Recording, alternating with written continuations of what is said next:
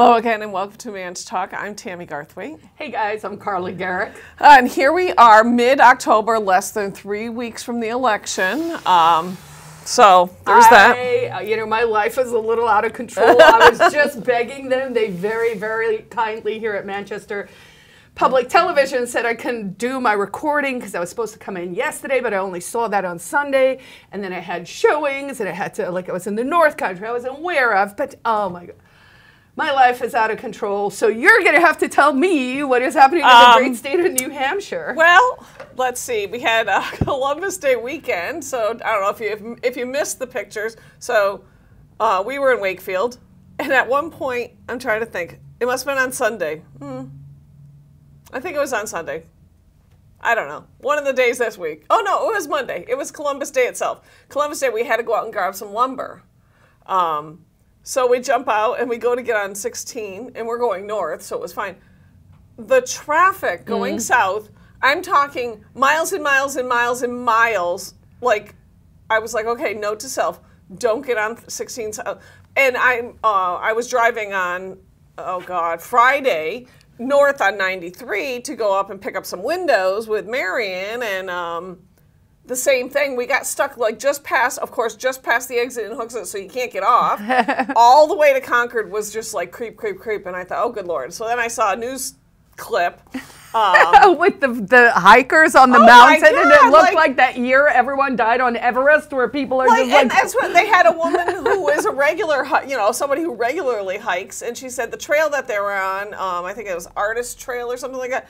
Um, isn't it difficult, you know, isn't it? She goes, but these people are not prepared for any of it. She goes, there's people in slippers, people in go-go boots, people in short shorts. She goes, hardly anybody had even a bottle of water with them.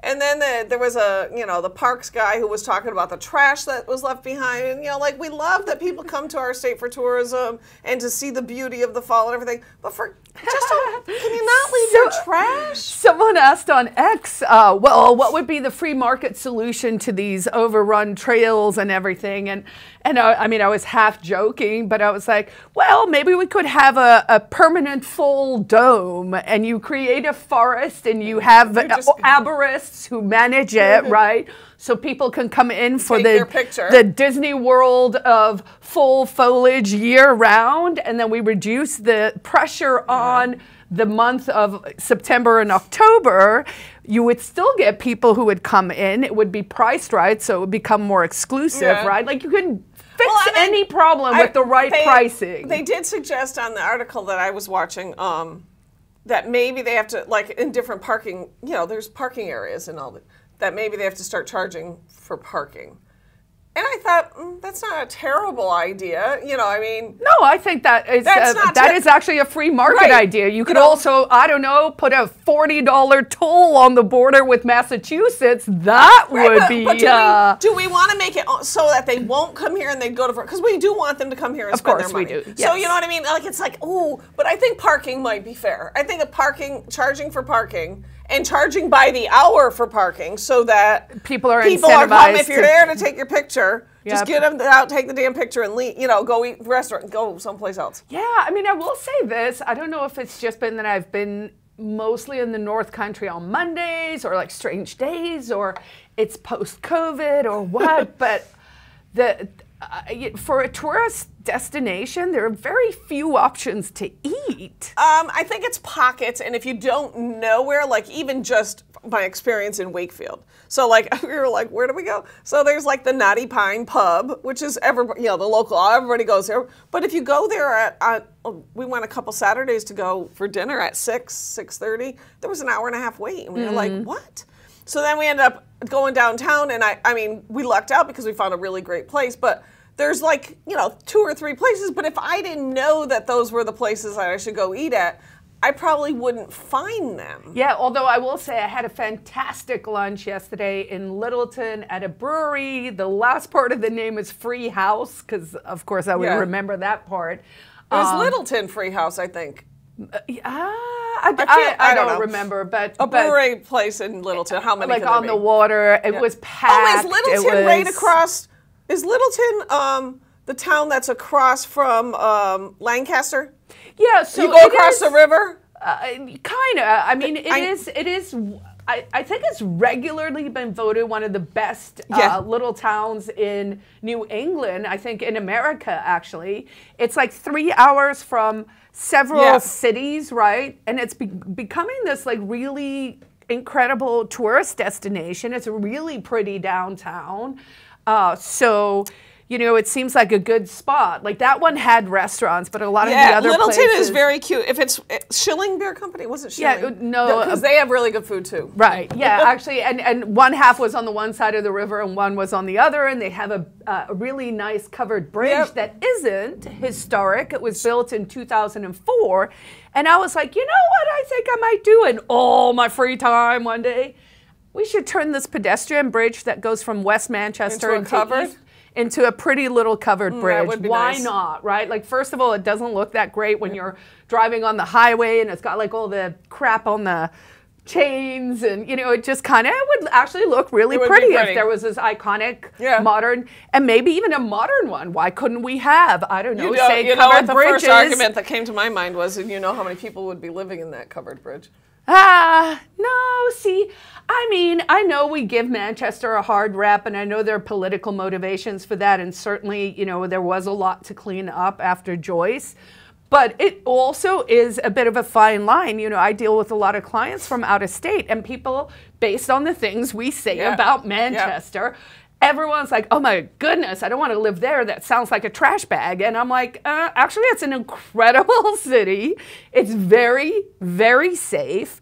There are a couple of issues, including addicts. Yep. Um, but you know, like I was down by the river t- this morning at daybreak. And you know, I got finally. It took me, I don't know, seven years. I got a shot of my heron flying over Oh, the nice. river with the red and the, you know, Yeah. all the trees and the colors. The bird itself is a little Yeah. out of focus because I was like, oh, I can't believe it's happening. Um, but it's a really beautiful, Yeah. iconic photo. And so I put it on X then. I was like, we have to remember we actually live in an amazing place Yeah. and we should uh, actually appreciate it. So everyone who's like, oh, meh, meh, meh about the politics, life goes on. So, speaking of the river and the heron and so on, um, this coming Saturday, for those who are looking for something to do, because if you haven't checked the weather, it's going to start getting warmer tomorrow. It's going to be in the 60s um, Thursday, Friday, Saturday, and I want to say Sunday gets 70, and then like through Wednesday, Thursday, it's going to be in the 70s. So we're getting a nice warm spell. But this coming Saturday, from um, I'm going to try to click on my phone at the same time. I think it's from 10 to 1, maybe 9 to 1. Um, nine, uh, 10 to 1, the P- Friends Piscataquog River Park are doing their fall cleanup at the Piscataquog River Park, which is off of uh, at the bottom of Precourt Street on the west side of Manchester. Um, you don't have to be. They provide all the tools and the things you need. They always have coffee and donuts and food lunch and all that stuff. Um, sometimes they have shirts to give out, um, but they ask volunteers to come and help with the cleanup. They, it, I know they um, they were continually over there um, working on the bittersweet, and I think they were going to move the bittersweet piles that were cut in the spring because now they're dry enough to move. Right. Um, there's a part of the bridge that still needs painting. Uh, there's just basic cleanup of you know Yeah, random trash, and I think they're going to do some clean out of um, when you first go towards. From the Precourt Street entrance, there's a um, area that there was going to be a wildflower garden. You like the, Oh, So that area starts to, needs to start getting Cleared and- clearing. yeah. Um, I haven't been in a couple weeks, so I don't know if there's if anybody else has been down there to do it. But that is um, Saturday the 19th, which is this Saturday from 10 to 1. Um, good way to help out your neighborhood. Um, get out and see a beautiful park. It is an absolutely beautiful park. And actually, as we've been working on it over Yep. the years, uh, there are more and more people Yeah. that we just meet on the trails who are helping. I it was funny because Louis went out to meet volunteers Yeah. on Saturday morning, and I was going to go to Goffstown, but then I realized I didn't have enough time Yeah. to hit that trail. So anyway, I ended up down on the trail where they were too. But I thought, oh, I'll drop in somewhere else, and so you know. Uh, so I had my dog off leash, and of course she somehow heard or smelled or whatever, and so she was off finding Louie in the Yeah, yeah. forest. And uh, and so I met a new guy who's a new volunteer. They were all meeting up to look at the wet spots to try and figure out where to put like pallets Yeah. and little bridges and stuff so we can use more of the Yeah. space, you know. So, uh, but circling back to the covered bridge idea, maybe it doesn't Yeah. have to be a historical Right, right. covered bridge, right? So one of the things I'm interested in is just shaking people out of these like little boxes, right? Everyone's minds are sort of just Well, some people, yeah. and and so it's like, well, maybe we have like a covered bridge competition, and people are like, what about a covered bridge that has LEDs on the side and it's advertising? What if it looks Maybe like it I don't know, like a I know we wanna- modern one made out of swords? I, I don't know, That was know, Game um, of Thrones. We did talk about but- building a second bridge in the Piscataquog River Park because um, when you talk to a lot of walkers and people who want to use it, they people want to do a loop. You know, people don't want to go out and back. They want to go out and around and come back. Um, and Dan and Louie, I think, have sc- scoped out a couple different spots where there, because there is an island out there, Mm-hmm. and it's, you know, I mean, it might get wetter at some time of the year, but it's it stays above ground. I mean, if you did it right, it would be fine. Um, and it would t- it it could tie a different part of the park to the trail system over there, which would be nice too. So uh, it's really nice, and it's nice to know. You know, I think it's important when if we. If everyone wants to be so involved with politics and yell their Mm-hmm. opinions and all of that, you know, maybe that's a productive use of your time, but Yep. probably getting involved locally Yeah. and just coming to things, you know, either go to City Hall and let them know your opinion or show up and Yep. volunteer somewhere and do something that actually matters in your own Yep. life, right? I did see that the city um, announced that uh, the new playground at Wolf Park is completed. So I haven't been by there. Um, I'll have to take a drive by, but I'm glad to see a park on our side of the, you know, especially Wolf Park because Wolf Park was pretty run down, and it was much improved when the whoever did the basketball courts for Mm. us um, last year or two years ago, but. There's a, apparently a playground there, and it's much much more improved now. Um, so that's nice to hear. Um, I tried to find an answer. I did not see one on what the status of the 88 coffee um, situation was. Last I read a couple days ago was that they had come closer to an agreement, and I think it was like $445,000 for their property, which obviously, you know, might be the value of the property in the building, but I mean, the, the business said they're not going to lease another property in Manchester. That you know, I they I, I read it as they would go somewhere else. And so for folks back home, this is uh, there is a property across from Blue Bird Storage, Coffee 99 or something. What's- 88 coffee, Okay. some number. um, they uh, the city is interested in taking it for eminent domain Yep. for a, a sewer. sewer. It's a project to so that water. I think um, part of this whole thing that they're doing with all the the there's more than one area uh, to get the runoff water not to go into the river, so you're not polluting the river with runoff. So but I mean, is it going to be like a sewage plant? No, no, no, it's- it's- oh, it's it's just like a ground, I culvert or Yeah, something. something. Okay. Anyway, so so that's interesting. You know, I mean. Some, uh, so I- this is a great example of like um, Where you can't- weighing interests, Yeah. right? But it's like, well, these people have to actually get compensated for for what's happening, Mm. Right. right? But then, f- but to what degree? Well, so, no, I'm just saying, like, well, right? Because well, let's let's parse this out, right? So so the the scary story we're told is the holdout person, right? Yeah. Like that one person. So let's say, and this actually happened on the west side when uh, the hospital knocked down a whole block of really beautiful Victorians in like three months uh, to put in a parking lot, right behind um, behind the the hospital. And there was there was one house that was a holdout, and it's still standing. It's at the end of the block, right? And so obviously they were like. We are just going to wait, and then Yeah. if everyone else got five hundred thousand, I'll get more. We're going to get a million Or because they really need to get it, or, Or nothing. nothing. right? So there and is now your house is at the end of a parking lot. because you yeah exactly now your house is on an ugly street that is on the end of a parking lot uh, it has no value later right, Right. because they're not made well, i mean maybe the hospital would extend it but probably not to bring Right, it in right. just for that part's not going to make sense and i always think of a photo i saw in china oh. and and and I have to say, like, I kind of admired the guy, but it was basically like it was like high rises and, And all these like little- Chinese developments and this like teeny tiny little traditional, Yep. you know, like still bamboo house, right? That's just right there.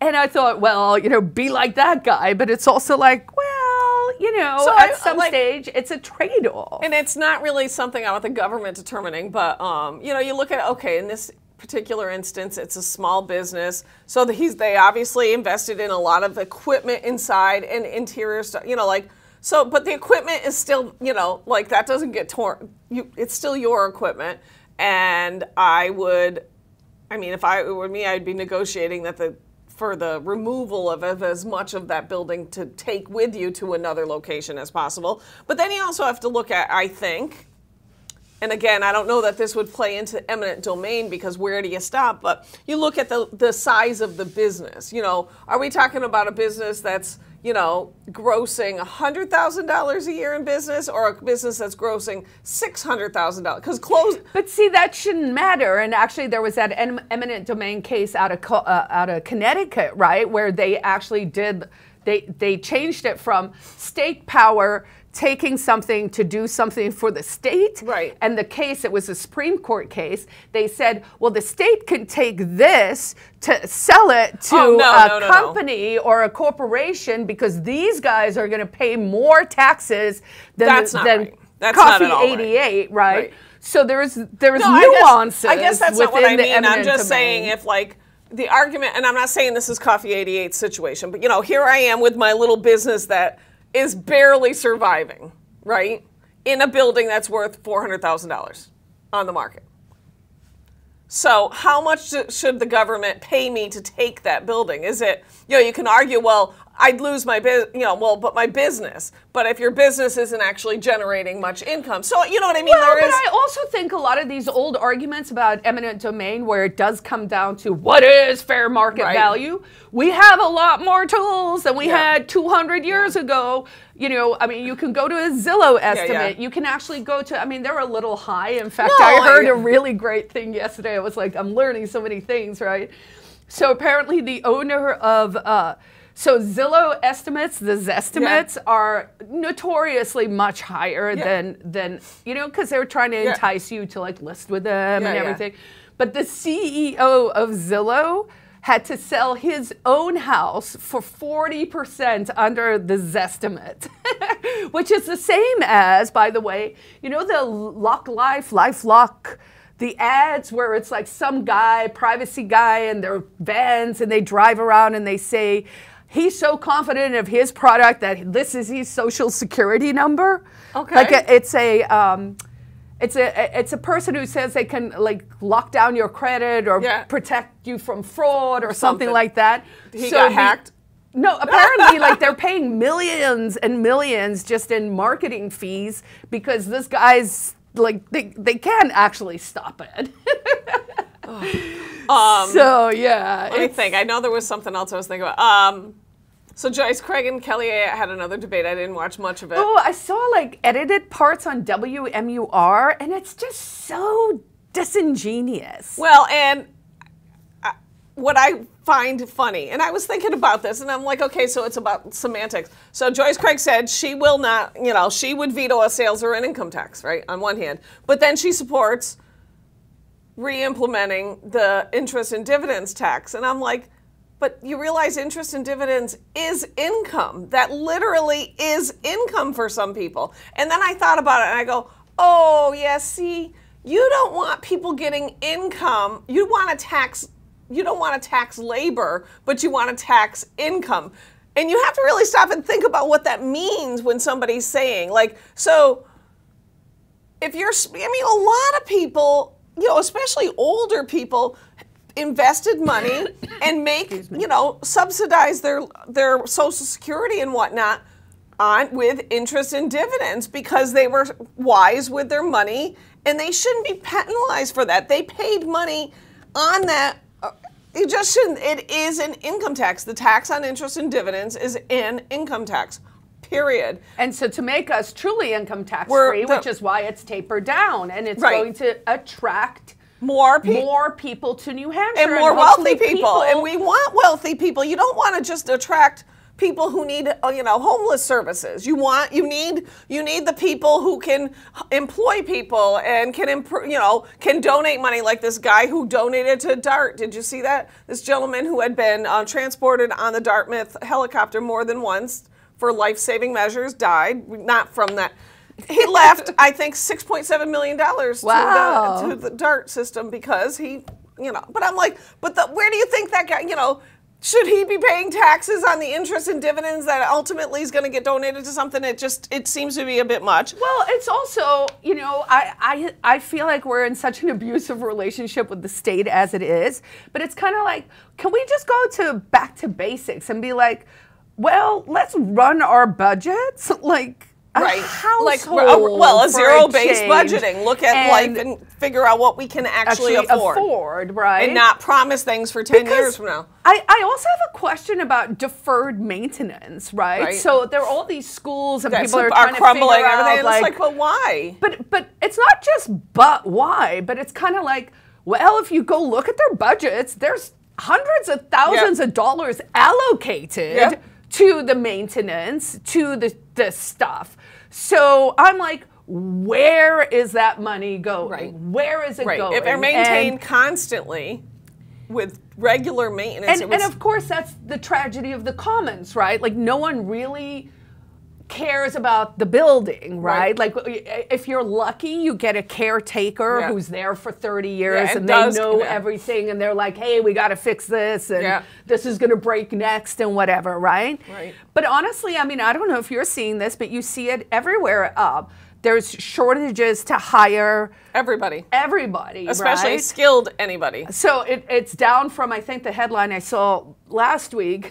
I do earnestly read the front page of the paper every morning, but um, was that they're struggling to hire sports coaches. Yes, I saw And that. I was like, gee, why would that be? Is Yeah. it because uh, I don't know we politicized? Uh, Kids sports like Yep. lunatics, and Yep. now like everyone's Well, I mean, when you're going to and watch go- a soccer and, look match. At, look I was gonna say, look at look at the parents, the way they act. At, you know, sports isn't just a thing for fun now. Now it's a super serious thing, and the parents get super super serious about it, and they're screaming at the coaches. But I think and it's I'm like, because- can't the kids just play sports? But it's because everything's been dysregulated. What do I mean by that? Government's too big. Hmm. Social media is driving everyone insane.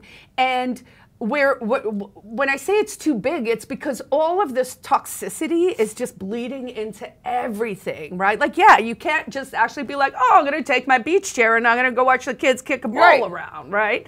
Now it's like, what gender is on the toilet door? I mean, we're like four year olds again. I don't even know what's going on. It um, I also saw not local thing, but I saw it um, in the New Hampshire Journal. And of course, they're going to lose that case with the XX, right? So the, for The school folks- is. yeah, Yeah. because it's a free speech issue. And it's- Speaking of, there was a, another case that I heard of, and this one's more local. Uh, Max Apple, somebody Yeah. got hurt s- snow uh, sledding. Sledding.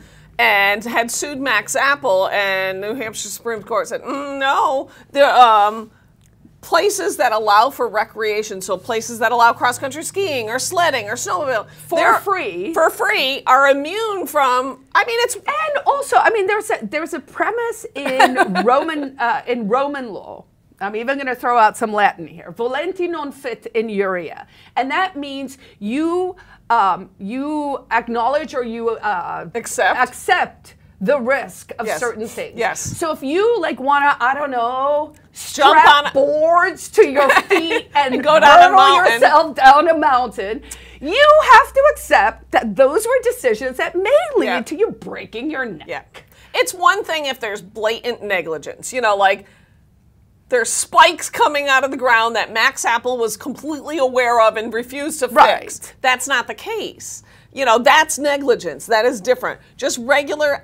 That's why things are called accidents. People have accidents. People have been getting But hurt. you see, I think that's part of the problem in the world. So we have become, and this goes back to like Jonathan Haidt and safetyism and all of those things, right? Like Mm-hmm. people have become so risk averse that they simply cannot accept that life it's not perfect. is It's actually kind of risky. Yeah.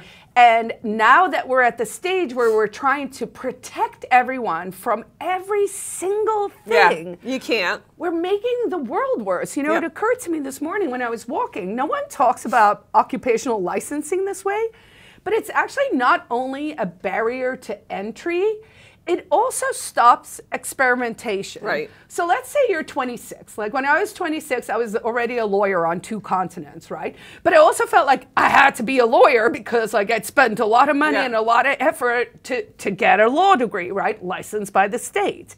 So then it's like, oh, I should just do this job, right? Like a doctor or Yeah. a lawyer or whatever. They put so much in and it costs so much to get that, right? At a property yesterday, someone said, I don't know what the hours were. I want to say it was 4,000 hours. I might be totally wrong. That you have to do to become a plumber, which is less than Which if, is you, if you become a cop, right? So two years of, of internship to become a plumber, right. right. That barrier to entry, right? Or in real estate, it costs, I don't know, like $4,000 just to get your license. And then it's a couple of thousand bucks every year just to keep it, right? Right. So instead of people being like, I'm not sure if I want to be a masseuse or Right. a plumber or a real try estate it because you have to spend a. No. loads and loads and loads and loads of money. So that is a concrete example where safetyism and just trying to regulate and control everything so hard because God forbid your plumber didn't have 4,000 hours To of training pecs. to flush the poop down the pooper, you know?